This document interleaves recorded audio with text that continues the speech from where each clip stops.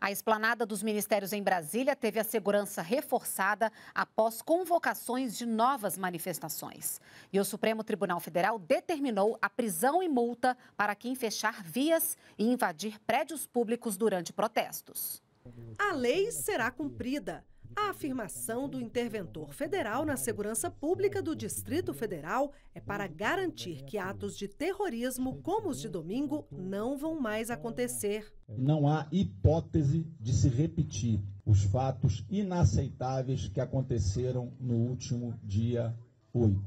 Mais de 1.500 pessoas foram conduzidas para a Academia Nacional de Polícia em Brasília pelos crimes cometidos no domingo, quando os prédios dos três poderes foram invadidos e destruídos.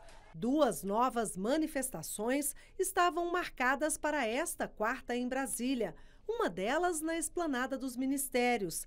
Segundo Ricardo Capelli, o direito de manifestação está mantido. Ninguém será impedido de acessar a esplanada, mas vai haver barreiras, bloqueios e revistas o Ministério da Justiça e Segurança Pública autorizou a prorrogação do emprego da Força Nacional de Segurança Pública entre a rodoviária do Plano Piloto e a Praça dos Três Poderes. O efetivo vai atuar entre os dias 10 e 19 de janeiro para garantir a ordem pública, a segurança das pessoas e dos patrimônios da União e privados. A Advocacia Geral da União também assegurou, por meio do Supremo Tribunal Federal, um conjunto de medidas para evitar novos atos golpistas.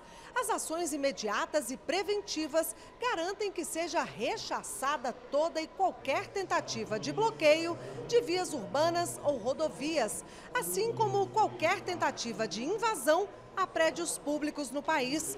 E mais.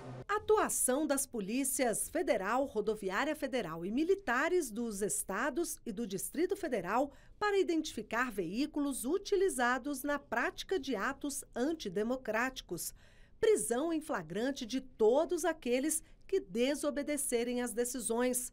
Bloqueio de contas no Telegram de perfis envolvidos na preparação e realização de atos golpistas.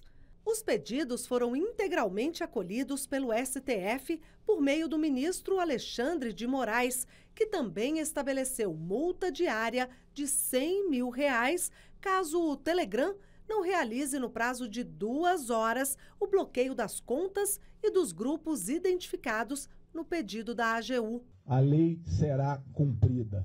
O direito à livre manifestação não se confunde com terrorismo.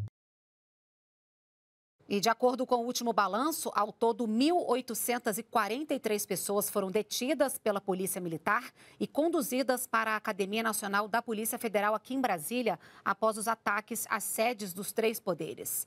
Todos os detidos foram identificados e vão responder, na medida de suas responsabilidades, por crimes de terrorismo, associação criminosa, atentado contra o Estado Democrático de Direito, golpe de Estado, perseguição, incitação ao crime, entre outros.